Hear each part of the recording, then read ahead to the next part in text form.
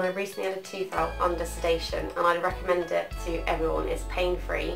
and it's hassle-free and all I remember about my day was getting to the dentist, meeting everyone and then all I remember is getting home and having a 10 hour sleep and all it was was a tiny little needle prick and I'm really needle phobic and if you have a low pain threshold like me I'd recommend getting a tooth taken out by sedation as it is just the best thing ever.